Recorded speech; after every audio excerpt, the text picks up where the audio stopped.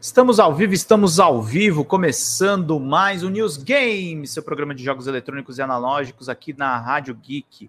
Hoje é dia 28 de fevereiro de 2023 e eu esqueci de rodar a vinheta. Vamos rodar a vinheta do programa.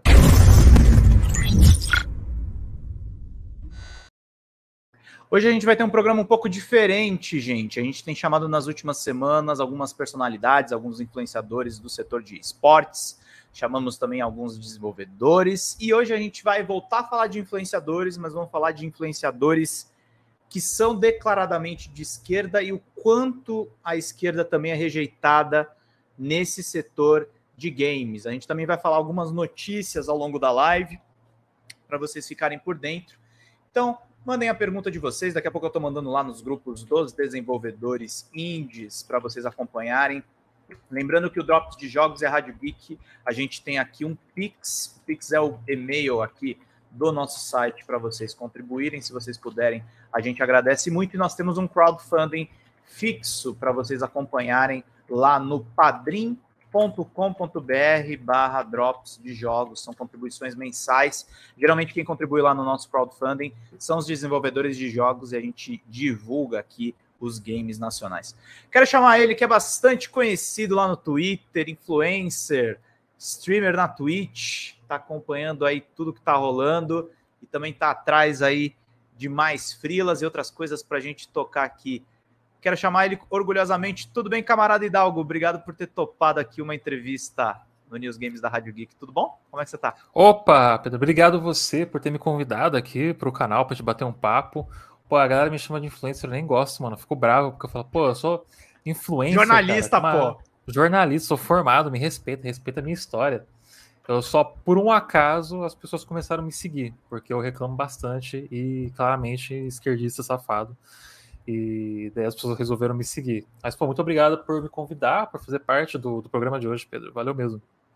Imagina, obrigado você, camarada. Depois eu vou jogar o link lá no, no YouTube. O, a gente ainda transmite aqui no Facebook, porque a gente é o que sobrou aqui da programação da Rádio Geek. A gente faz remoto é, no perfil lá do Facebook que rola. Depois eu reupo essa live no YouTube, então vocês podem ver também em outras plataformas. Deixa eu te fazer uma pergunta mais elemental, cara. Você falou que é jornalista formado. É, quando, desde quando você é formado? E por que, que você optou por fazer é um trabalho jornalístico que é claramente posicionado. Eu também estou mais ou menos aí no teu campo, eu não sou comunista, mas assim, trabalho num veículo de esquerda, sou crítico da imprensa comercial. Por que, que você decidiu é, colocar essa marca comunista no seu trampo? Porque eu me odeio. Daí eu resolvi deixar minha vida mais difícil para sempre. Daí foi por isso que eu fiz isso. Não, mas na real é eu estudei, né, durante muito tempo, na verdade, na área de exatas, né? Quase me formei em engenharia civil. Opa. Só que eu odiava exatas e todo mundo envolvido nelas, né? Então, tipo, eu fiquei meio perdido por um tempo e acabei me encontrando no jornalismo. Daí eu acabei me, eu me formei em 2019. No ano seguinte entrou a pandemia, então não deu, não tive muito tempo para pensar em algumas coisas. Mas a área de comunicação sempre foi uma área que me apeteceu muito, assim, que eu sempre curti, que eu sempre quis ir atrás é, saber, de todas, uh, saber de todas as dificuldades né, que existiam por, por trás da, do campo, mesmo assim eu quis apostar. Né? E nessa eu me juntei com alguns outros jornalistas também posicionados assim, como anarquistas, comunistas, e a gente compõe o jornal Metamorfose, né? Que hoje ele está ele tá parado, a gente está se reorganizando para poder voltar com o jornal tal, que é difícil fazer jornalismo independente. Mas o, o trabalho que eu mais faço, assim, como jornalista, tá lá. Então, muito do que eu publiquei, assim, de matéria, de pesquisa e tudo mais foi por ali. Então, eu sempre, tipo, me identifiquei na, na esquerda e desde sempre, desde quando eu fazia a faculdade de jornalismo, já era claro, assim, que jornalismo não, não existe uma, essa, essa coisa que eles dizem que o jornalismo é isento, né? O jornalismo tem um lado, sempre tem um lado. E quando a gente começa a enxergar isso, na própria faculdade eles falam isso pra gente, né? Que isso é mentira, que não existe jornalismo isento, né? Eles, desde a da escolha da pauta até a escolha da foto que vai na capa, você está tá mostrando ali qual é o posicionamento da, da, do jornal que você está, né? Da, da editora que você está. Então, isso eu falei, pô, então eu vou vou me posicionar, vou me juntar com esses camaradas que me que acabei encontrando aqui e vou compor esse coletivo. E hum. foi, foi aí, né? Desde então venho fazendo esse trabalho, escrevendo matérias, é, não só em cultura pop, mas também em matérias em jornalismo meio que um pouco mais investigativo, mais hard news também. Então, daí dessa daí aconteceu a pandemia, uhum. nesse meio do caminho, aconteceu a pandemia, e eu, nesse meio do caminho da pandemia, eu resolvi abrir um canal na Twitch, e até antes disso eu resolvi reviver o meu Twitter, né? Então, uma, uma rede social que eu não usava, tipo, sinceramente, cara, eu não usava o Twitter, eu acho que eu sou uma pessoa que odiava redes sociais, é, porque eu não tinha, eu não tinha tempo para usar, eu não, uhum. não sentia que eu tinha nada para falar nelas, né? É, então, praticamente elas estavam mortas, assim, só, só esperando alguém roubar meu arroba. Uhum. Só que uhum. daí aconteceu a pandemia, eu resolvi entrar e falei, eu preciso falar as minhas frustrações, a minha raiva e comentar as coisas e, e tudo mais. E daí eu abri o Twitter e as pessoas começaram a me seguir lá, porque pelo visto as pessoas gostam de gente que reclama. Daí, daí aconteceu, foi só uma obra do, da, de pura sorte, assim mesmo. Eu não planejei nada, só aconteceu. A Twitch eu planejei na Twitch, eu pensei assim, cara, eu quero ter um canal para conversar com as pessoas de uma forma mais direta e uhum. jogar e entrevistar pessoas e cara, tentar fazer o, fazer o meu corre assim, como comunicador. E estamos aí, tipo, pouco mais de um ano e meio, quase dois anos de canal já, chegando ali a quase uns 8 mil inscritos no canal, na, na no Twitter tá, tá indo para 18 mil seguidores no Twitter. É, obrigado Elon Musk por destruir o Twitter, logo logo não vai significar uhum. mais nada. Mas essa é a minha trajetória na internet, né? É uma trajetória bem recente comparado com o resto das pessoas, quando eu, vou, eu comparo assim. Sim. Você falou da Rádio Metamorfose, eu vi algumas, algumas entrevistas que você fez, e aí eu ia te perguntar até sobre um outro trabalho que eu vi na internet. Você entrevistou muita gente do PCB, eu vi uma, um aumento Sim. assim de gente produzindo conteúdo sobre é, o Partido Comunista do Brasil. Aliás, estou lendo aqui. Os pessoal acha que eu sou capitalista, mas ó, tá escondido aqui, ó. Oh. Eu, eu, recebi Sim. da Boi Tempo, na verdade, porque a gente estava vendendo no DCM, mas é, eu, eu tô, tô lendo, tô acompanhando aqui, mas teve um, um aumento de conteúdo comunista mesmo, e até de, de, jornalistas mesmo, que entrevistam a Sofia, entrevistam é, deputados, candidatos, enfim, da, do PCB, da UP, de, de, todos os partidos que a gente vê. É, como é que a rádio se citou nisso e como é que você vê o seu trabalho assim, comparando, comparando com outros coletivos que a gente vê? Tem o coletivo do próprio Soberana que tinha o gamer de esquerda, é, tem um monte de gente aí que, sei lá, tava fazendo aí um conteúdo, tava indo por esse viés. Abraço para meus amigos da Soberana, eu sei que vocês gostam de mim. Uh... Só que não. Só que não, tenho meus problemas. Uh... Então, assim, o meu coletivo, nós somos, somos um coletivo fechado. Eles também não né? gostam muito de mim, você sabe, né? Ah, não, não sabia o que aconteceu. Depois você me conta mais. Eu sobre. critiquei. Não, não, não, fala abertamente. Eu critiquei o Ian naquele episódio lá da autoria. Ah, daquele bagulho lá do. Foi, eu falei que da... assistia os vídeos dele, que achava interessantes os vídeos dele, mas aquilo lá, sacanagem. É, assim, uma coisa que a gente aprende como jornalista é sempre trabalhar com fontes, né? E citar as nossas fontes. E dar crédito. E dar os créditos. Porque não existe jornalismo sem dar crédito, ainda mais quando você está usando tipo, o trabalho de fonte, né? Então, muito feio o que aconteceu ali. E como tudo que acontece envolvendo essa galera aí, ninguém aceita muito bem as críticas, né? Sempre é. vem aquele, aquele enxame ensandecido em cima das pessoas. Então, que se for, eu tô um pouco me fudendo pra eles. Uhum. Uh, assim. E o, o coletivo do Jornal Metamorfose, ele existe antes de mim. Ele já uhum. existia antes de eu fazer parte, né? Só que uhum. durante a pandemia a gente teve a ideia, né, de criar o, a Rádio Metamorfose. Eu nem fazia, eu nem, tipo, era host, editor do programa antes. Acho que eles fizeram uns 5, 6, acho que uns 7 programas é, sem mim. Uhum. É, naquele momento eu não estava tão envolvido com o jornal ainda. Só que daí eles me chamaram, falaram, pô, Hidalgo, você é um cara que se comunica muito bem, fala muito bem, é, você tem um jeito, uma personalidade boa, acho que você seria um, um bom host para o podcast. Daí eu falei, ah, vamos ver isso aí, né? Eu tenho um pouco de vergonha, sei lá. Fala o cara, né? Tipo, depois de tudo. daí eu fui e meio que reformulei, assim, aos pouquinhos, fui dando as ideias de reformular o, o a programação do, do, da Rádio Metamorfose e trazer essa parada mais tópica, assim, de falar sempre, pelo menos uma vez por semana, sobre algum assunto relevante que tá, estava acontecendo, assim, né? Acho que um dos últimos programas que bombaram muito nossos foi sobre a guerra na Ucrânia no ano passado. É, fizemos, acho que uns três programas né, a gente não fala, nós não falamos assim sobre o, o assunto. A gente tra, é, trazemos especialistas. A gente tra, trazemos as fontes para gente para podermos fazer as perguntas e tudo mais, tal. Tipo um roda viva de verdade. É, então assim a gente faz esse, esse trabalho assim para poder, poder tirar da nossa fonte a informação que a gente quer. Né? É muito mais. Saindo, a informação saindo de uma boca qualificada é muito melhor do que sendo da boca de um jornalista, né? Porque, convenhamos, nós. Gente não, nós somos generalistas. Generalistas, a gente sabe um pouquinho de tudo. E esse é um problema também dos jornalistas, né? Porque muitos acabam entrando na arrogância de achar que sabem de tudo e acabam falando como se fossem especialistas, como não são, né? Então não são especialistas. Então a gente tem que nosso trabalho é trazer as fontes. Então a gente trouxe esse, esse, esse trabalho tal é, e a Rádio Metamorfose teve um trabalho aí, tipo, quase todo dia fazendo o programa e gravando uh, no ano passado, durante as eleições.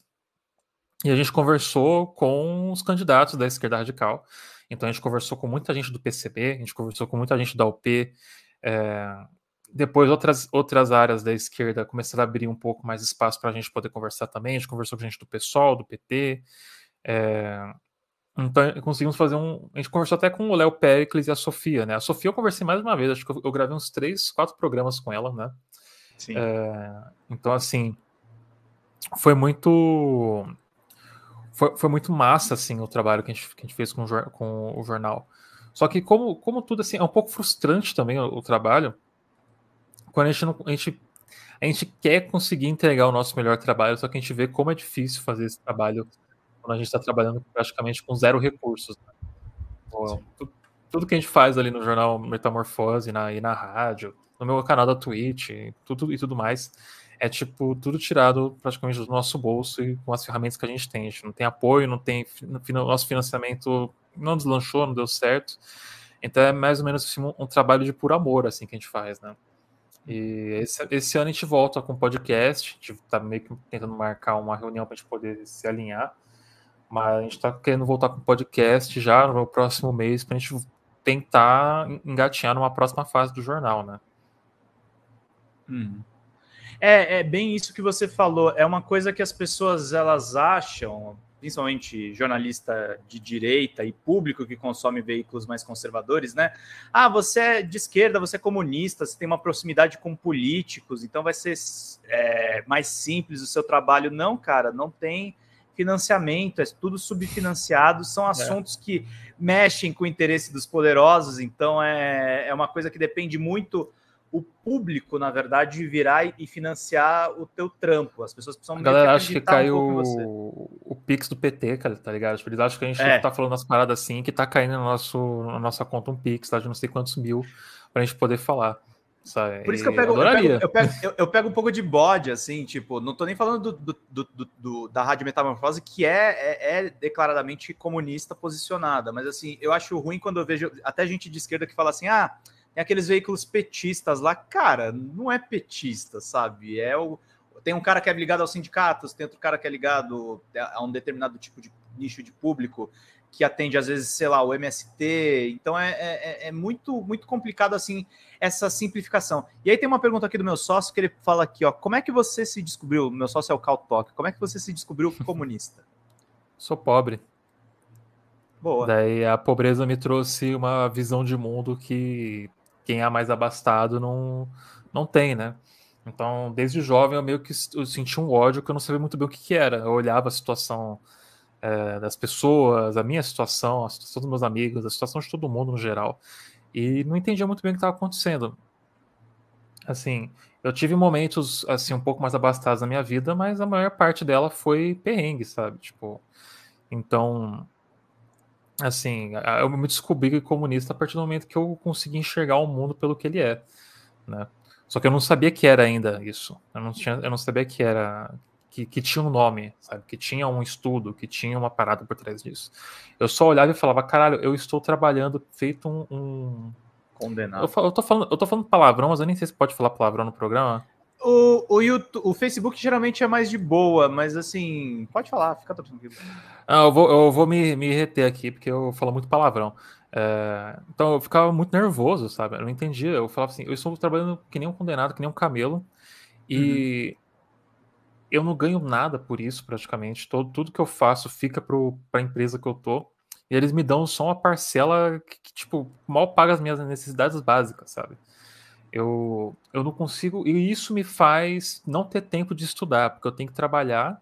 Eu, o meu trabalho é longe da minha casa, tenho que pegar tipo duas horas e meia para ir, duas horas e meia para voltar. Hum. Ganho pouco e me sobra pouquíssimo tempo para estudar. Enquanto isso, eu vejo essa galera aí que nasce já com no berço de ouro, tipo, costuma ser tudo herdeiro, tem o tempo que tem, tipo, o que for para poder estudar, para fazer o que for, para conseguir se aprimorar em todos os tipos de áreas de estudos, fazer intercâmbio, aprender outra língua e tudo mais. Enquanto a maioria das pessoas que estão comigo estão aí, ó, só, tipo, pegando as migalhas. O que está acontecendo? Não é possível que o mundo é isso, que, os, que esse sistema que a gente está inserido é esse. Daí eu acabei esbarrando no comunismo por um simples acaso. Né? Não foi pelos canais assim da, da galera da esquerda, né, que faz esse, esse, trabalho online. Não foi tipo por página no Instagram, por Twitter e tudo mais. Foi por livros? Foi por livros. Olha só, quem poderia imaginar, na é verdade, que os livros poderiam ensinar alguma coisa pra gente. Leiam mais livros, vejam menos vídeos. É... Eu sempre falo assim pra galera que o... você vê esses vídeos, é e ainda mais agora que a galera tá produzindo, tipo, 90% de tudo que essa galera produz agora é React, né? Eu também faço React, porque é legal, é divertido. É, mas eu sinto um pouco mais de falta da galera produzir um conteúdo mais, assim, educativo, massa, tal, e alternar um pouco as coisas. Mas isso é uma porta de entrada, sabe? Só que tem gente que para aí. Tem gente que uhum. para aí não vai atrás de leitura, não vai atrás de se aprofundar no material, fica só no superficial e acaba repetindo as coisas que nem um papagaio. E marxismo não é isso sabe? E marxismo também não é ficar parado no tempo. O próprio Marx falava isso. Marxismo é você a, adaptar, não é, não é receita pronta, é você adaptar para a realidade do país que você está inserido no, e captar o espírito da época que você está. Então, o que foi o, que foi o trabalho naquela, por exemplo, que foi a revolução na Rússia, não vai ser a revolução no Brasil. A revolução na Rússia foi tipo no século passado com a, a, as questões materiais do país deles naquele momento. O Brasil tem questões completamente diferentes assim, tem muita coisa similar, mas no geral somos muito diferentes, né? Então você pega aquilo, aplica para nós aqui, né, tal, e adapta. Então eu acabei entrando em contato com o manifesto, sabe? Com o manifesto. E um professor meu que me passou esse manifesto. Olha aí a, a, a doutrinação marxista na, nas escolas. Sim. Foi na faculdade. Um professor cubano de engenharia. Que, ah, que ele, era o, ele era o reitor da faculdade de engenharia. Então a gente passava horas conversando depois da aula. Você foi doutrinado ainda com comunismo na faculdade de engenharia, não foi nem no jornalismo que te estragou. Exato, exatamente. Daí eu conversava com ele, ele falava de Cuba, como gostava de Cuba, tal. Ele trabalhava no Brasil porque ele também amava muito o Brasil, mas ele não via a hora de voltar para Cuba. Um senhorzinho de mais de 80 anos de idade, eu não sei nem se ele tá vivo mais. E ele falava aquele portunhol, sabe? Ele dava aula uhum. em portunhol, tipo, impossível de entender o que ele estava passando. E ali ele foi falando tal, não sei o que, ele falou, me recomendou as, algumas leituras, eu fui atrás, né? Procurei um PDF na internet, afinal de contas, o conhecimento aí está disponível para todo mundo, quem quiser ir atrás. E li. Né? O manifesto você lê num dia, numa sentada você lê, tipo, duas horas ali você, você se dedica. Eu acho que tem o quê? Umas. Tirando as 50 introduções feitas de, de uhum. épocas diferentes, né? Que tem isso Daí você chega no manifesto, acho que ele tem umas 60 páginas, deve dar umas duas horas e meia de leitura, mais ou menos. E eu li e falei, pô, é isso. Caraca, então tudo isso que eu tava sentindo, toda essa parada que eu tava dentro de mim, que eu vi ao meu redor, é, é por conta disso. Agora o mundo fez sentido. Agora eu consegui me organizar.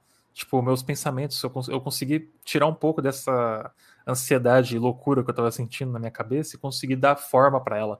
E conseguir dar sentido, né? E a partir dali, fui lendo, né?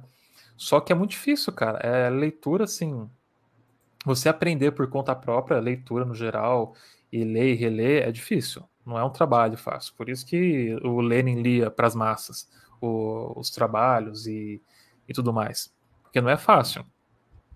E por não ser fácil que assim é um trabalho hercúleo e quase de Sísifo você é, tentar trazer esse, esse conhecimento para as pessoas, né? Quando elas estão tão inseridas dentro de uma ideologia é, assassina, genocida como é a que a gente está hoje, que é, ainda mais agora no capitalismo tardio, num país dominado pelo neoliberalismo como o Brasil. Né? Então é assim, foi assim que eu me descobri comunista. Você, você falou ideologia assassina, eu já falei neoliberalismo, sempre. Neoliberalismo. É. Sempre seguirá nos matando enquanto a gente deixar que ele permaneça. Mas pegando o próprio neoliberalismo, como é que isso se conecta com o Vitor Hidalgo, que estava jogando Silent Hill 2 na Twitch outro dia, e como é que você lida, porque é uma coisa que a gente vê no público gamer, né? Que se existem pessoas de direita, o público gamer tá mergulhado e nadando no neoliberalismo, achando aquilo tudo incrível, Sim. e tem um culto às empresas, e tem aquela coisa meritocrática. É o sonho, assim, é o, é o coach da? Campari né? com uma pistola 9mm na mão. É basicamente isso, o mundo gamer ainda. Cara, às vezes, um uma, às vezes, às vezes dá uma, uma, uma roupagem LGBTQIAP friendly, mas é, a, a merda continua sendo a mesma. Cara, tem um recorte social muito interessante de se fazer quando a gente fala de jogos, assim, desenvolvimento de jogos, videogames e tal, ainda mais quando a gente fala de países da periferia do capitalismo, como o Brasil, né? Sim. E quem teve acesso a, a, videogame, assim, logo de início na vida? Pouquíssimas pessoas assim, da classe trabalhadora. Videogame sempre foi uma, um, um hobby muito caro e da elite. Né? Uma das coisas que popularizou o videogame no Brasil foi a pirataria. Ali no PlayStation e no PlayStation 2, tanto que você vê pessoas comprando PlayStation 2 até hoje. Sabe? Você vai nas feiras, você vê é, cinco jogos por 10 reais de PlayStation 2. Bomba Pet segue lançando atualizações para a galera baixar e continuar jogando porque ali se popularizou o videogame e é ali que você consegue ver o quão elitizado era esse hobby no país, né? Ainda é hoje elitizado, né? E então eu gosto de fazer esse recorte social, né? Quando a gente fala disso. E quem que cria os jogos? Video, videogames são uma forma de arte muito recente, eu diria de que de todos os jogos já feitos, talvez uns 5% tenha chegado próximo de ser arte. É muito pouco. A grande esmagadora maioria é produto para a gente consumir, pegar e consumir. Ah, dentro daquele produto pode ter alguns fragmentos ali de alguma coisa interessante para a gente destrinchar e, e, discutir, mas no geral eles são produtos do, da ideologia dominante. E eles, ainda mais na, como a gente está falando de triple A's, eles representam muito os interesses dessa classe, né? A gente pega aí, por exemplo, esses grandes jogos de tiro, de guerra, é, Call of Duty, é Battlefield, é, as uhum. pessoas nem, acho que nem gostam mais tanto assim, de Battlefield, né? Não sei, a galera joga muito aquela, aquela versão Battle Royale agora, né? É, é... For, tipo Fortnite, essas coisas aí. Agora. O Fortnite, eu, eu, vou dizer um negócio, eu ainda acho o Fortnite assim um, um desses aí os mais fracos, porque como ele descaracteriza muito o, a parada militarista, assim, torna uma coisa tão cartoonizada que uhum. perde um pouco desse poder, sabe? Eu acredito. Diferente desses jogos hiperrealistas porque Sim. eles têm investimento direto do, do, do exército americano para poder uhum. meio que repassar, né? Teve um, eu não sei se foi, eu tô tentando lembrar agora se foi o Call of Duty que teve um, uma campanha de que ele retratou um crime de guerra cometido pelos Estados Unidos como se fosse cometido pela Rússia. Então ele reescreveu a história do mundo real no jogo, sabe? Ele inverteu, sabe? Reescreveu a história. Você pode falar, ah, é um jogo de ficção, tudo mais, tal. Cara, mas assim, é, é um, uma ferramenta de domínio ideológico muito forte, sabe? Então a pessoa vai, ela vai acabar sendo, não, eu não diria nem que, nem que doutrinada, né? Porque a gente já é, a gente já nasce dentro da, dessa doutrinação. Né? Mas ela acaba pegando essa informação e muita, uma grande esmagadora maioria não vai atrás do, do, dado real oficial, não vai atrás de saber o que aconteceu, fica com aquilo, sabe? E só voltando à questão do recorte social, então a gente chega assim e vê, beleza, a, a, é, o videogame sempre foi, né, uma grande maioria, uma esmagadora maioria da história, pelo menos aqui no Brasil, falando de nós aqui, se for falar do resto do mundo, eu quero falar de nós, que é o que interessa aqui, né? Sempre foi um hobby muito caro de uma classe dominante. Essa, esse recorte social costuma ser de homens brancos, heterossexuais, tal, aquela coisa que a gente fala, daí já, a galera já vem falar que é lacração, Sim. woke e tudo mais, porque a verdade dói, é essa, tá bom? Essa é a verdade. E porque essa pauta que dizem que é o woke, na verdade, é a clássica luta de classes. A luta de classes, pois é. E tipo, daí beleza, tem essa galera. E essa galera, ela foi alimentada pela indústria, que nem sempre foi assim. O videogame no passado era o, um brinquedo. O videogame é brinquedo era um brinquedo para família. Era, tipo, você vê as propagandas da Nintendo, acho que do Nintendinho e da Nintendo, era tipo para você jogar com sua família, pra você se juntar lá tal. É, era menina, era menina, era, era o pai, a mãe, a avó tal. Não tinha essa parada de tipo, videogame é coisa de menino, sabe? Porém, em algum momento, ali, acho que nos anos 90, essa começou a mudar. O marketing entrou. Ele, desgraçado. O marketing entrou e começou a mudar a percepção do que era videogame para as pessoas. E foi se criando uma, uma esfera tóxica de uma da famosa guerra de consoles, por exemplo, né? que existe até hoje. A galera fica eu fico impressionando, um maluco barbado de 40 anos de idade querendo falar que PlayStation é melhor do que Xbox, Xbox é melhor do que PlayStation, que Nintendo é jogo de é videogame de criança e tal. Mas enfim, mas foi criando essa rixa e, e, e esse, isso acabou excluindo uma parte da, dos jogadores, né, das jogadoras, por exemplo, e criando um ambiente bem misógino, né, assim, no meio, bem machista. E esse ambiente não foi, não era uma coisa assim que existia antes, que foi começar a se criar dentro do, por conta dessa, dessa parada de marketing. Então os jogos foram se adaptando para esse novo público e a gente vê aquelas representações hipermasculinizadas, mulheres hipersexualizadas, é, ainda assim, muita coisa boa saindo, tá, sabe? Para que todo mundo podia jogar. Só que, assim, as mulheres foram excluídas dos videogames durante muito tempo, sendo que elas fazem parte da história e da, e da criação de jogos desde, desde o começo, sabe? Então, é muito doido esperar para pensar isso. Daí a gente corta. Pode falar. É, desde, desde Atari você tinha o papel das mulheres programadoras, uhum. tinha muita coisa bacana lá, mas segue lá, desculpa. E daí a gente pega assim, quando a gente começa a introduzir a internet na cena, né? É, e corta para o YouTube e corta para os primeiros canais de que começam a trazer esse conteúdo de jogos para uma população maior. Afinal de contas, a grande esmagadora maioria das pessoas que acessavam esses canais, tipo o canal do Monark, do Venom, do Zangado e por aí vai, eram pessoas que não tinham acesso a videogames. Elas, elas queriam ver os jogos, elas queriam ver o que, que, era, que, que, são, que, que era aqueles jogos, elas queriam ver gameplays, elas não podiam jogar, mas elas podiam ver alguém jogando do começo ao fim, elas podiam se sentir fazendo, fazendo parte de algo que elas foram excluídas, né? E só que daí essas pessoas que tinham acesso a esses jogos e a conseguir ter material para conseguir produzir conteúdo já desde aquela época e jogar na internet, começou a jogar um pouco mais daquela ideologia tóxica em cima dessas pessoas e começaram a reproduzir isso também, né? Então a gente vê hoje, por exemplo, onde o Monark está, né? Tipo, não precisa nem falar, sabe? O Monark começou jogando Minecraft no YouTube, daí agora olha aí, tá isolado num, num, num canal tipo de extrema direita lá num e que ele mesmo é, é criou, assunto, né? Que ele mesmo criou, sabe? E é assunto de assim de não do Twitter por conta da merda que ele fala, sabe? Então, assim, é um recorte social. O videogame sempre foi uma questão um hobby muito caro, muito caro, é excludente, e você consegue fazer um recorte de classe social muito, muito claro dele. Só que daí as coisas começaram a mudar, porque capitalismo. E a, a indústria percebeu que eles estavam deixando de lado uma área muito lucrativa do mercado. Eles não, eles não começaram a dar atenção para esse lado porque eles se acham muito progressistas e bonitinhos, woke e tudo mais. Não, eles querem dinheiro. E como existe dinheiro ah, para ganhar numa área completamente ignorada né, de, um, de um mercado?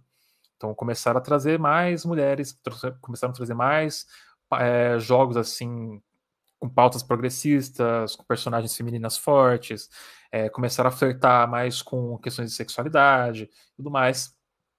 E claro que isso começou a incomodar essa galera, né? Então, video, videogame, essa, essa parada meio hipermasculinista, é, como aconteceu com o Gamergate, né? Quem, pra quem lembra do Gamergate, começou a, a virar um traço de personalidade da extrema-direita, porque já fazia parte da extrema-direita, só que eles não tinham se encontrado ainda nela, e começaram a ser recrutados para essa galera, né? Então. Opa, travou aí, não tô te ouvindo.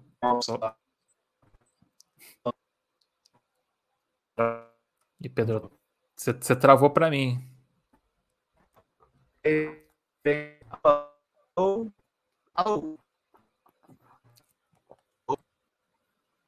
Você tá travado. Eu tô travado pro chat? Chat, estou travado para vocês ou é só o Pedro que tá travado? Não. É só você. Estranho. Eu acho que volta. Acho que daqui a pouco deve voltar ao normal. Obrigado. Peraí, e se, e se eu sair e entrar? De repente volta ao normal. Ó, eu vou sair, eu vou sair e entrar, peraí.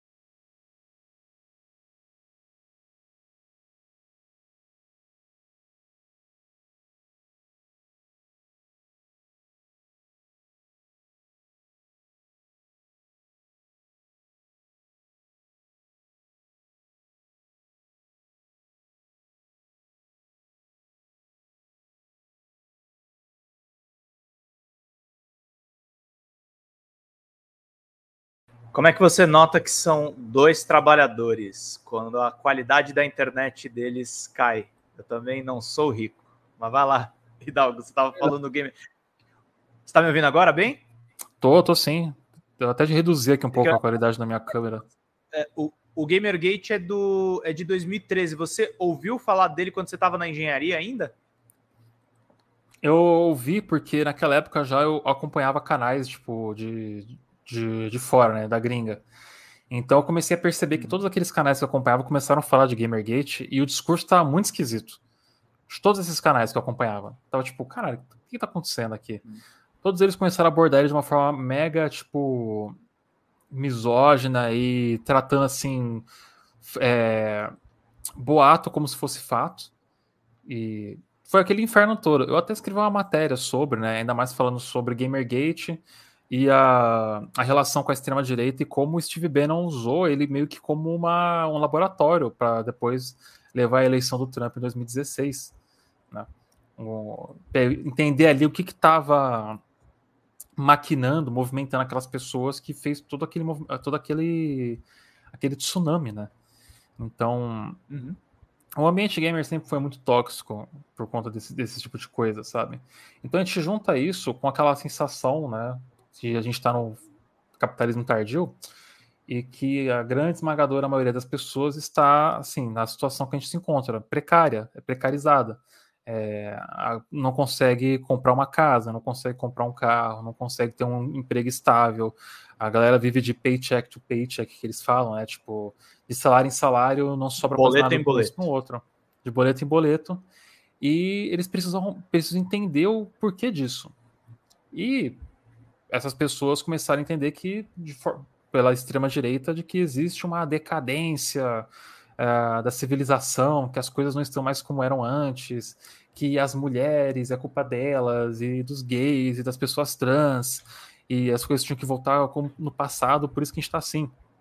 Porque eles perderam o capital social, sabe? Eles tinham um salário, um salário social, se não me engano, que é... Eles são tão pobres quanto nós, assim, no geral, né? Eles não ganham tão bem, não têm trabalhos tão bons tal, mas eles tinham um salário social, porque eles eram homens brancos, heteros, cis, e se sentiam melhores e tinham uma posição melhor do que essas outras pessoas na sociedade. Só que agora eles perceberam que isso não significa nada, no geral, né? Tipo, uhum. eles não estão conseguindo ter as coisas que prometeram para eles que eles iriam ter. Então eles tiveram que botar a culpa em alguém. Daí botaram a culpa nisso. Então, quando a gente acaba vindo para a internet agora, na nós da esquerda, né, começamos a, a, ocupar a internet, nem gosto muito desse termo de ocupar, uh, a gente já chegou tarde, porque esse terreno ele já estava completamente dominado pela extrema direita e pela pra, por esse, essa parada meio tóxica, né? Só que ele já está assim há, desde os anos 90, porque ele está sendo fomentado desde aquela época. Então, quando a gente chega aqui hoje para tentar ocupar esses espaços, fazer o nosso trabalho e mostrar que, tipo, política e videogame se mistura assim, não existe esse negócio de que não tem política no videogame, todo jogo é político, por mais que as pessoas falem que não. É, só quando tem a política que você não gosta, que você acha que é político, né? Então, quando a gente começa a vir, vir para cá, falar sobre política nos videogames, falar sobre videogames de uma forma mais crítica, analisando essas, essas, essas questões materiais de onde eles se encontram, de onde eles surgem, né? E é aí que começa a incomodar. E quando a gente e na Twitch, eu, uhum. eu, não sei, eu acho que eu tenho muita sorte, cara. Porque eu nunca, uhum. eu nunca tive problema de alguém vindo na minha live assim, ou mandando raid de ódio e tal. E a minha sorte se chama eu sou um homem branco. Então assim, essa é a minha sorte. Então nunca, nunca tive essa parada. Dois. Então, eu sou um homem branco, cis, com um corpo é, magro. E a única coisa que alguém pode chegar na minha live para falar de mim, assim, talvez, é falar que eu sou calvo. Beleza, eu sou. então, assim. É, mas eu nunca tomei raid de ódio que nem muitas streamers camaradas minhas tomam, tipo, por só por serem mulheres. Ou camarada meu que é uma pessoa gorda e toma stream é, raids de ódio porque é uma pessoa gorda, camaradas é, trans, mesma coisa. Isso nunca aconteceu comigo porque eu tô numa posição privilegiada, diferente deles, sabe? E eu consigo é, ver dessa forma. Então, eu sempre tive essa sorte. Então, o que eu, o que eu gosto de fazer no, no meu canal e no, com o que eu faço na Twitch é, que não é meu trabalho, tipo, depende muito da minha live, né? Mas assim, não é meu trabalho mais sério, assim, sério, sério, 100% é, jornalista, né? Que a gente tem que descontrair um pouco também. Mas ali eu sempre falo de questões, assim, de política, das coisas que estão acontecendo no dia a dia, é, faço relações do, do mundo real com os jogos que a gente está tá trabalhando na live. É, às vezes a gente só faz, só fala bobajada e só se diverte, esquece um pouco, abstrai do mundo horrível que a gente se encontra no momento, né? Então, é isso. É, é, mais ou menos isso que a gente acaba fazendo lá, né? E muita gente acaba encontrando no meu canal um lugar seguro, um lugar que, elas, que essas pessoas conseguem se sentir acolhidas, porque desses dois anos para cá, de, ainda mais durante a pandemia, uh, muita gente descobriu a Twitch, né? Como uma forma de ter alguém ali para acompanhar elas no dia a dia. Seja como renda extra ou para se encontrar mesmo e conversar, né? Porque, inclusive, é um aplicativo até, ele é melhor do que o YouTube e outras redes, porque você sempre encontra alguma live ali para você acompanhar, né? Não, com certeza, sabe? E só que não tinha muita gente de esquerda fazendo coisa lá.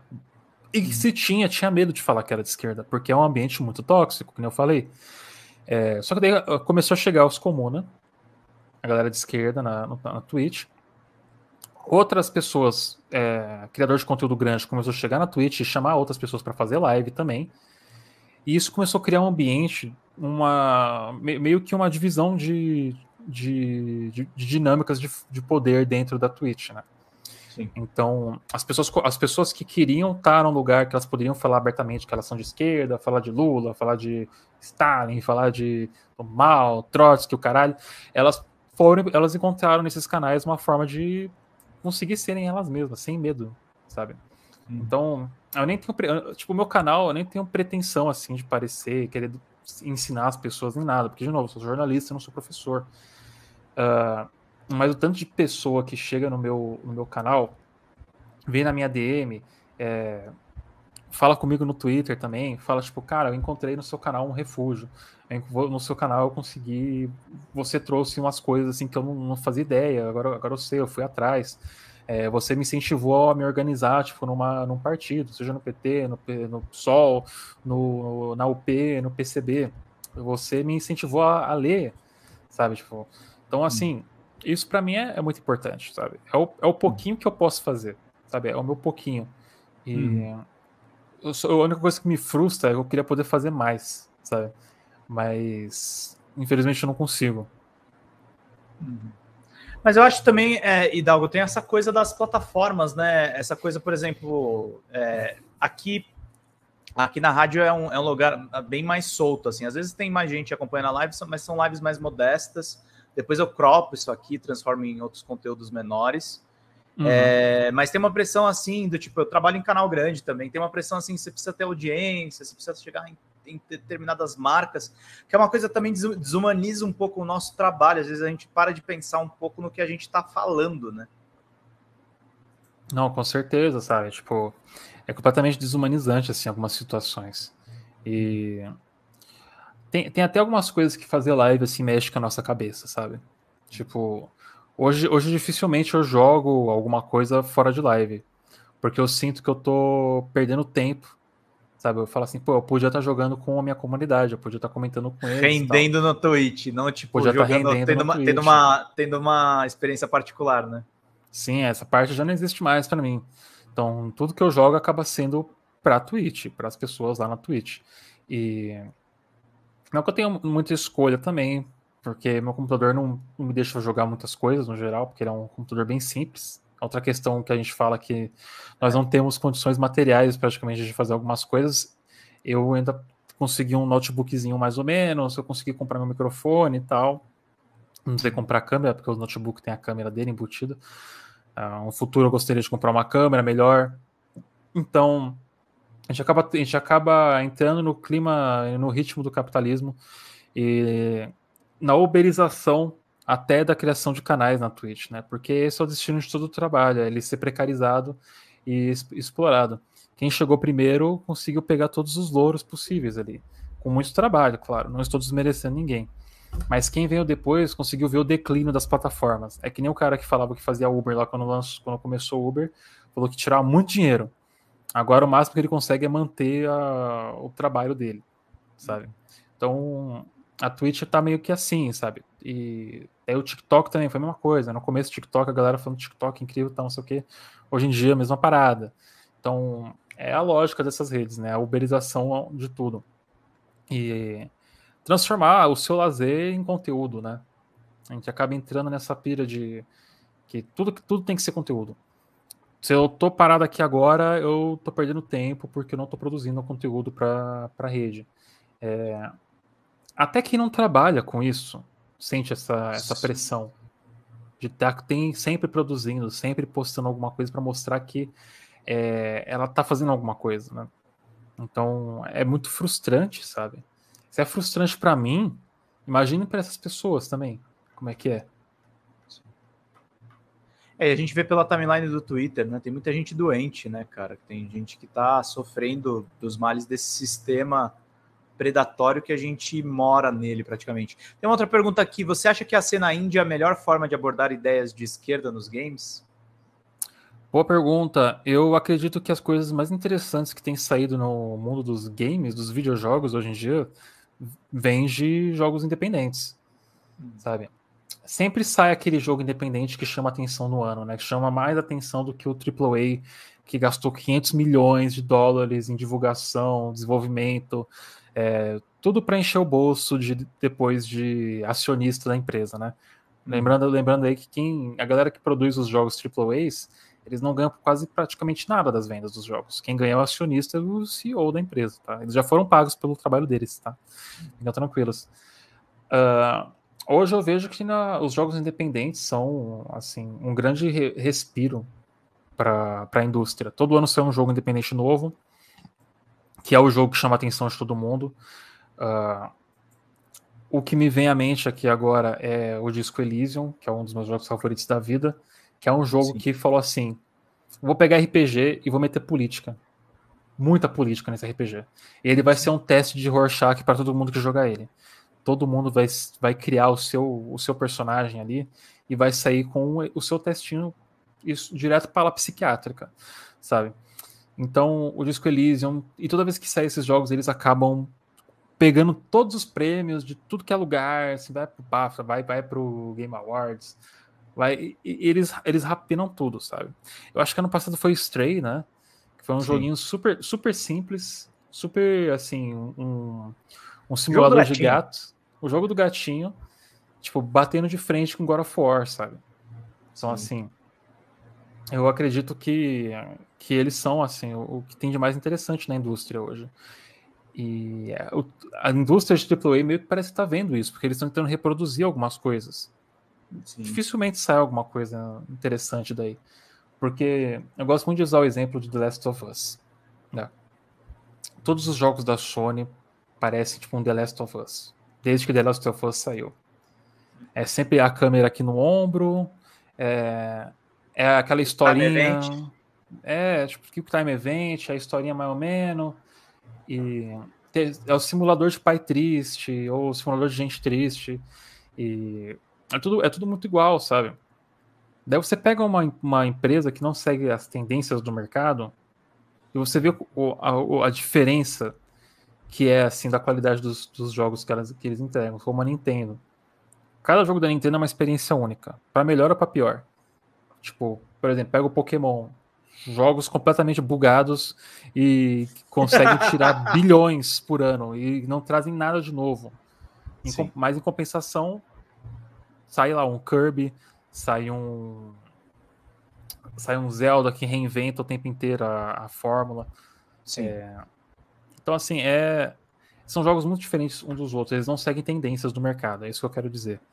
Agora, a indústria AAA ocidental segue tendência. E no capitalismo é isso: cada um quer copiar o produto do outro e ver que consegue trazer mais gente para aquele produto. E maximizar os lucros enquanto eles demitem o máximo de pessoas possível né, no processo.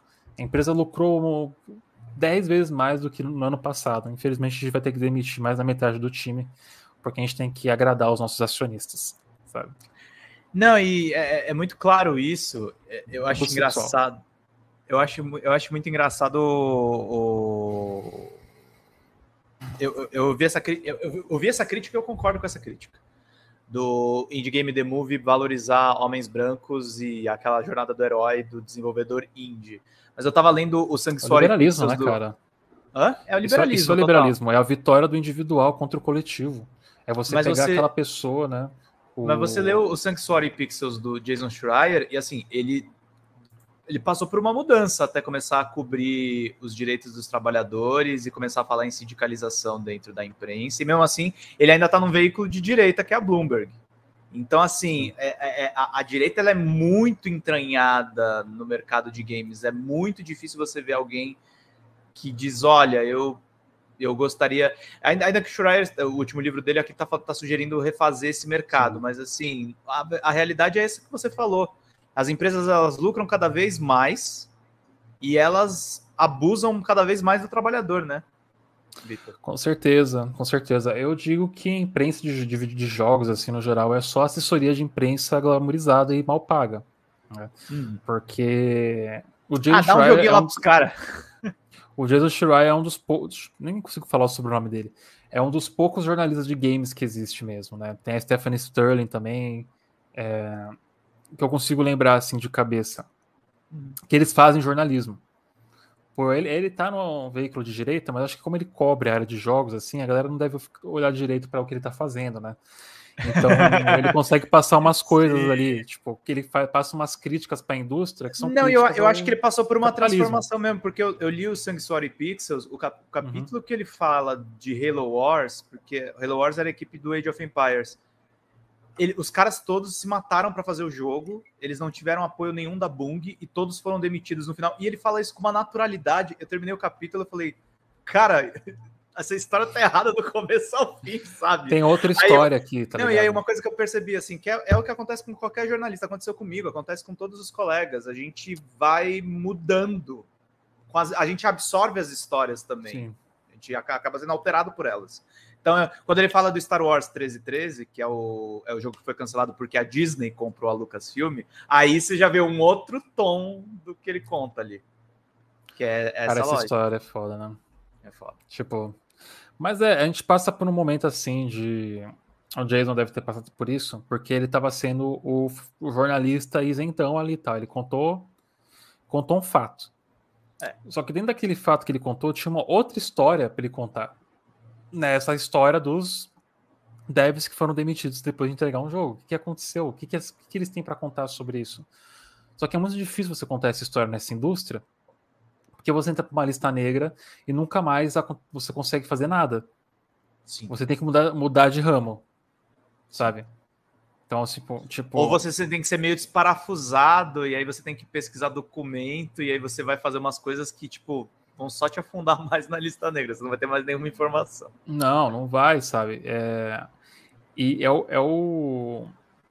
É, é a cápsula perfeita, assim, para falar do capitalismo, a indústria de jogos. Porque eu acho que ela é um ótimo exemplo de como funciona, né? Eles exploram trabalhadores que são apaixonados pelo, pelo ramo, porque na cabeça deles eles estão produzindo arte e trabalhando com o que amam. Então eles são super explorados pela indústria AAA, são mal pagos e quando eles terminam estar entregue, eles costumam ser todos demitidos, porque sempre tem uma nova leva de, de trabalhadores que eles podem pegar e pagar muito menos para isso, né? Então eles pegam lá para um projeto, o maluco fica quatro ou cinco anos no projeto, daí ele fala, pô, vou ser efetivado, vou poder ir para o próximo projeto com a experiência que eu ganhei aqui, vai ser legal, valeu a pena, tipo, não ver minha família durante cinco anos, porque eu estou trabalhando de segunda a segunda, 15 horas por dia, né? E não, são demitidos e contratam a próxima leva de recém-formados para trabalhar no próximo projeto, né? É, procurem, procurem saber, tipo, por exemplo, como é que foi a Naughty Dog, como é que foi a Blizzard, como é que foi a Activision.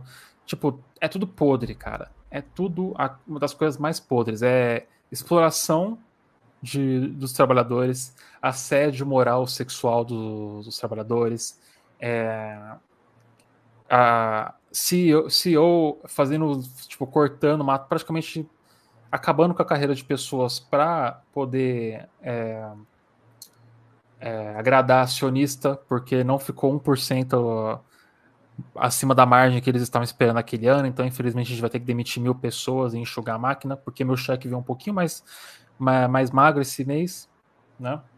Meu bônus, de, eu não vou ganhar meus 100 milhões de dólares de bônus esse ano, né? Vai se fuder Bob Kotick, seu maldito, o CEO da Activision Blizzard.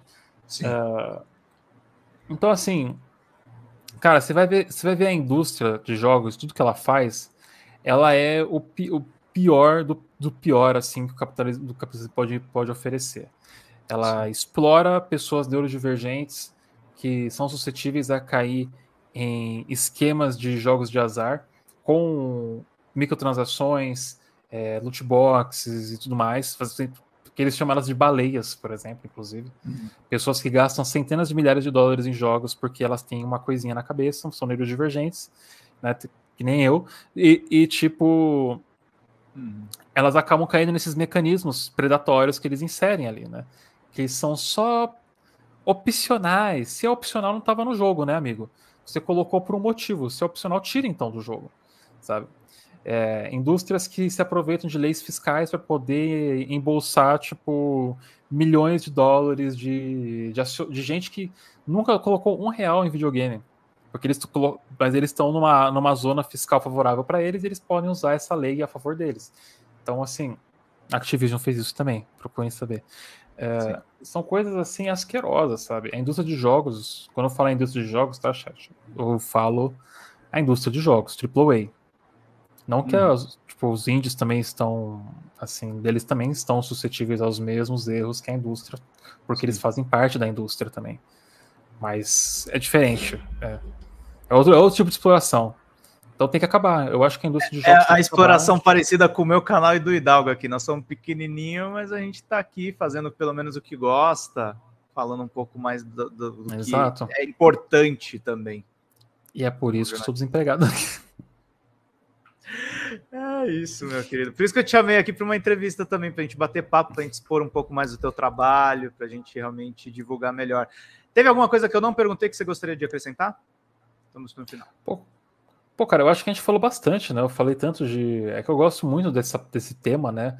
Eu vejo pouca gente no Brasil falando falando disso de, de uma forma mais. com esse viés mais expondo o, a, as entranhas da indústria, como ela é podre. Eu, eu, vejo muita gente lá fora, que nem eu falei, alguns desses casos, Jason, Stephanie Sterling e tal. E aqui no Brasil, eu Eu tô tentando, eu não consigo pensar, sabe? Me ajude, porque eu também não leio muita coisa no Brasil. Eu... Cara, não.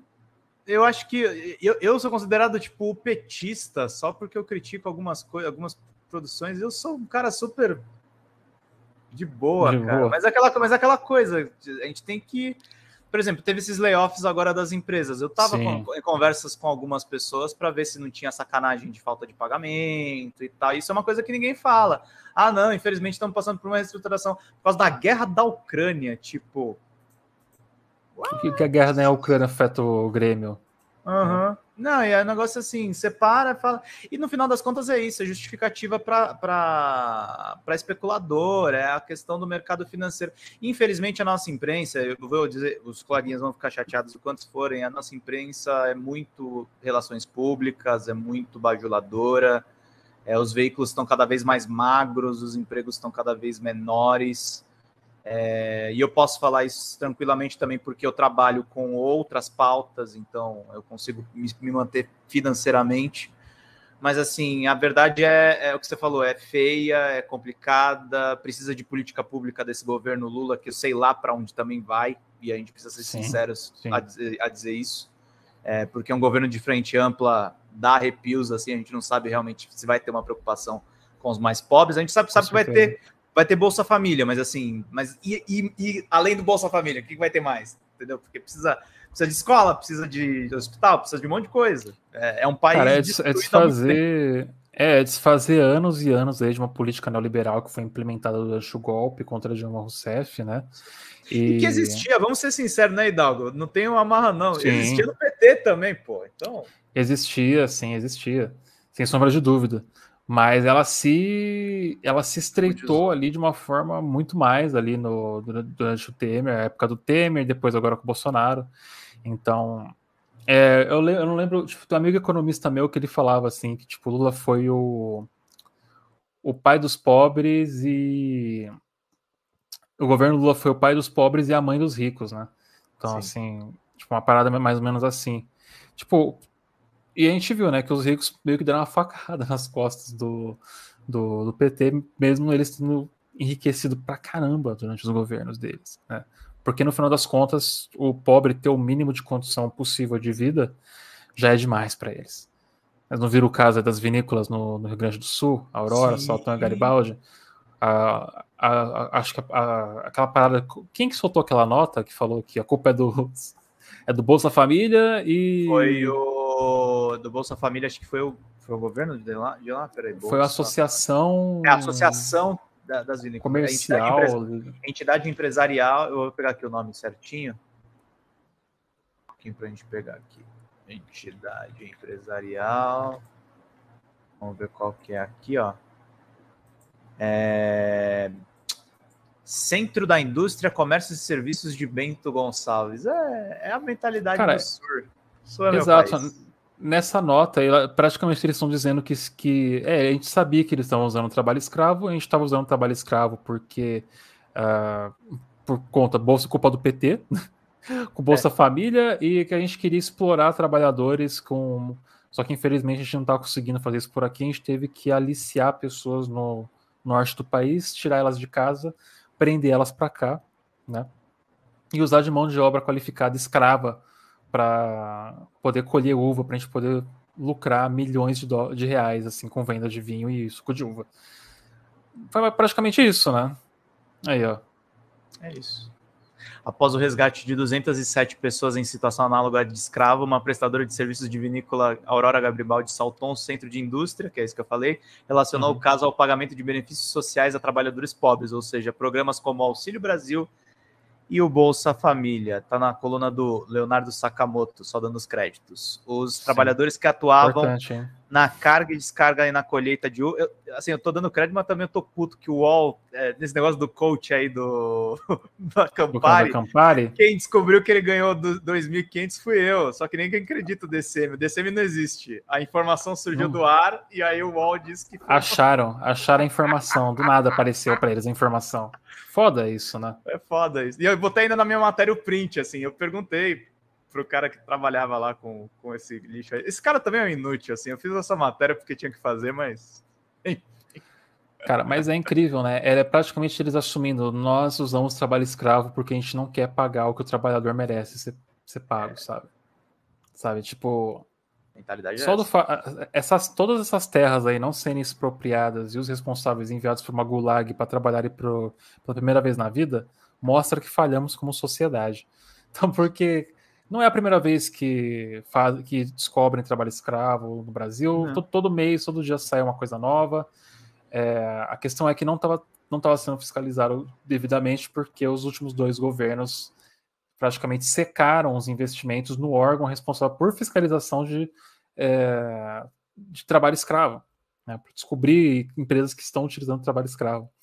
Então, praticamente reduziu dois, é, dois terços desde 2015 para cá, sabe? Então, se você não fiscaliza, não, quer fiscalizar, por que será, né? Você pega uma das regiões será? mais fascistas do país, que é o sul ainda. Que Exatamente. coisa. Hidalgo, muito obrigado pela sua presença. Bom descanso, meu querido. E se precisar de alguma coisa, me dá um toque lá no zap que tô a postos, querido. Se cuida. Tamo junto, Pedro. Obrigado por me chamar pro programa. Espero ter sido ter, ter, tipo, agregado alguma coisa ao programa de hoje. Foi excelente, cara. Foi uma, uma conversa muito legal, franca. Como eu tento fazer aqui nas conversas do programa, a gente recebe pessoas com pensamentos divergentes e tal, mas eu, eu tô contigo, cara. Só não, só não uso foi Smart porque eu preciso manter meu emprego, mas tamo junto. Viu meu erro? é isso, meu querido. Uh, tamo junto, camarada. Obrigado mesmo, Pedro. Boa noite, bom dia, boa tarde, boa noite para todo mundo que tá acompanhando o canal. Boa noite, querido. Até mais. Tchau, tchau. Vamos seguindo aqui mais um pouquinho, gente. Deixa eu só ler aqui as notícias também para a gente ir conversando aqui com vocês. Muito obrigado a todos que estão conosco. Vão continuar, vou compartilhando, vou continuar, vou compartilhando. Obrigado ao pessoal da comunidade dos índios também que nos acompanhou. Deixa eu pegar aqui as notícias que a nossa querida Monique Alves separou aqui para gente. Expansão do Elden Ring, temos também aí Beyond Good and Evil, tem a Xbox que continuará depois do veredito do acordo com a é, Activision, tem Mortal Kombat 12 que pode ser lançado ainda desse ano, e o remake de Dead Space 2 ou 3, a EA aparentemente quer saber o que os jogadores preferem receber. Vamos ver aqui essas notícias, começando aqui pela Shadow of Earth 3, que é a expansão aí, o DLC de Elden Ring. É, um grande jogo ganha expansão. Vamos ver aqui esse jogo aqui que vai ganhar uma expansão super bacana. A Bandai Namco e a From Software anunciaram Shadow of Earth 3, primeira expansão DLC para Elden Ring, game de sucesso, game é, de sucesso de crítica, de, é, games é, de sucesso de crítica e de público, com mais de 20 milhões de unidades vendidas e mais premiado do que The Last of Us Part 2. Lançado em 26 de fevereiro de 2022, é, Elden Ring ganhou Shadow of Earth 3 e sua primeira arte. Essa arte sugere uma nova personagem num cavalo espectral. De uma certa distância também podemos ver uma árvore em tom sombrio e arrepiante. A personagem, está, a personagem retratada está rodeada por túmulos. Segundo rumores, Shadow of Earth Tree, que é Tervory, na verdade, em inglês, poderá apresentar perto de 30 chefes e melhorias como suporte para PlayStation 5, Xbox Series e PC. Não há previsão ainda de lançamento. Essa daqui é a arte dessa expansão super bacana aí da From Software para vocês acompanharem. Isso é tudo muito bacana. Vou continuar compartilhando notícia aí do Drops de Jogos para vocês ficarem por dentro de tudo. Vamos então para essa notícia aqui sobre Beyond Good and Evil 2 e 3 para vocês poderem acompanhar. Chefe do estúdio deixa a Ubisoft. O desenvolvimento de Beyond Good and Evil 2 parece enfrentar diversos problemas desde o anúncio emocionante da E3 2023, 2000, é, é, 2017. De acordo com fontes da Ubisoft ao site Kotaku, o chefe do estúdio, Guilherme Carmona, deixou a Ubisoft Montpellier, Montpellier após estar ausente desde a virada do ano. Três fontes afirmam que a saída de Carmona ocorreu em meio aos desenvolvedores que tiraram férias prolongadas por estresse ou doença. Enquanto isso, o estúdio continua apresentando dificuldades com o desenvolvimento de Beyond Good and Evil 2. Além disso, a, fi a filial Montpellier da Ubisoft enfrenta uma investigação trabalhista por autoridades do governo local. Como a Ubisoft ainda não definiu uma visão criativa para o projeto, esse jogo oficialmente não entrou na fase de, na fase de pré-produção, indicando um atraso ainda maior. O último evento da empresa ocorreu pouco antes da E3 2020, 2019, sem nenhuma menção a Beyond Good and Evil 2. A fonte é a Video Game Chronicle, que faz boas matérias, e a gente está acompanhando aí todas as novidades. Vamos então para uma notinha aqui da, do Voxel, que é o site da, do Tecmundo de Games. Vamos ver aqui. A Xbox continuará, diz Phil Spencer, sobre o veredito do acordo com a Activision. Certamente a aquisição ou não da Activision Blizzard com a Microsoft vai influenciar muito o mercado de jogos. No entanto, o negócio de cerca de 386 bilhões de reais, que são alguns bilhões de dólares, entre as empresas não determina a existência da divisão de jogos da Microsoft. Em entrevista ao The Times, o CEO da Xbox, Phil Spencer, deixou claro que o negócio não é uma chave para o futuro da companhia. Essa aquisição é importante para nós, contudo, não é uma chave para o futuro da companhia. O Xbox continuará com o sim ou não para o acordo, diz Spencer. Phil Spencer viajou ao Reino Unido para uma audiência com a Comissão Europeia e aproveitou para agendar uma conversa com a Autoridade de Concorrência e Mercados, a CMA, que faz uma investigação profunda sobre como um possível sim para o acordo pode afetar negativamente a concorrência. Sobre a saúde e a competitividade do mercado, Spencer reforça que o negócio é apenas uma tentativa de ficar mais forte e que para o Xbox ver Sony e Nintendo todos no mesmo patamar é vantajoso, dar aos consumidores mais opções, explica o CEO. O que está acontecendo aqui, gente, é uma briga comercial enorme, porque a Activision comprou a Microsoft comprou a Activision pelo maior valor de mercado. Então, essa briga vai render pra caramba e a gente está vendo isso realmente se ampliar é, nessa conversa aqui entre as empresas. Além disso, gente, temos aqui também novidades sobre Mortal Kombat 12 ali no Canaltech.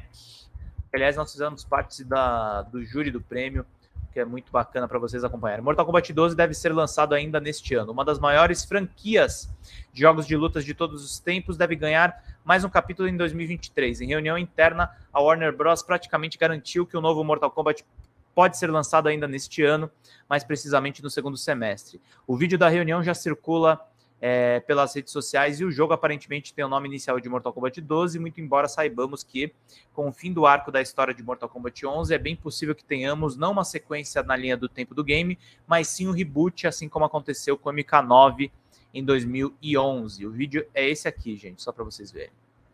Espera aí.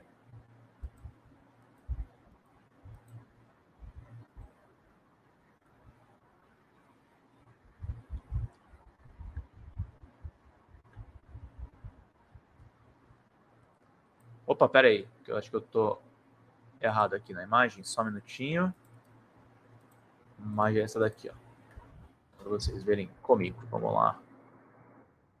And there's lots more to come. That's what that's what my including the estimate highly was. anticipated Mortal Kombat 12 and Suicide Squad: Kill the Justice League. Games also set for release this year with ambitious launch projections. We have a and there's lots more to come, That's what that's what my including the estimate highly was. anticipated Mortal Kombat 12 and Su- Pois é, Mortal Kombat 12 pode estar sendo esperado aí. E temos uma notícia também do remake de Dead Space 2 e 3, ou 3. A aparentemente quer saber o que os jogadores preferem receber. Após a recepção positiva do remake de Dead Space, essas perguntas não parecem surpreendentes. Após a recepção positiva do lançamento do remake de Dead Space, a EA aparentemente está interessada em saber é, dos fãs se eles gostariam de ver um remake de Dead Space 2 ou 3 a seguir. De- conforme relatado pela Eurogamer, a pesquisa em questão foi compartilhada no Twitter por Dylan Rogers, um desenvolvedor de Gloomwood. As perguntas feitas pela EA são: quão interessado você estaria no remake de Dead Space 2 de 2011 e o quão interessado você estaria no remake do Dead Space 3 de 2013? É uma pergunta bastante padrão, com respostas que variam nem um pouco interessado a extremamente interessado, mas mostra que a EA pelo menos considera a ideia. Não deveria ser uma surpresa para ninguém, mas é sempre bom ver essas questões sendo feitas. O tweet do- de Roger chegou no ao Reset Era e os fãs começaram a comentar com as próprias opiniões. Muitos são a favor de um remake de Dead Space 2, mas há um pouco de apreensão para um Dead Space 3. Dead Space 3 precisa ser reimaginado inteiramente para remover a mecânica de criação e possivelmente refazer algumas mudanças na história para não ter muito conteúdo bloqueado atrás do modo cooperativo e com qual personagem você está jogando, disse o, o usuário do Reset Era, Jeff Jersey Tom. E ele escreveu: muito desse jogo foi arruinado por conta da intromissão da EA por meio de microtransações e a ideia equivocada de que fãs de Dead Space estariam interessados em uma experiência cooperativa ao estilo de Resident Evil 5, que é bastante polêmico. Gente, muito obrigado pela presença de todos. Hoje a live esticou porque o papo tava bom. E é isso, gente. Vida longa e próspera, galera. Boa noite para todo mundo. Boa janta para quem não jantou, gente. Até mais. Tchau, tchau.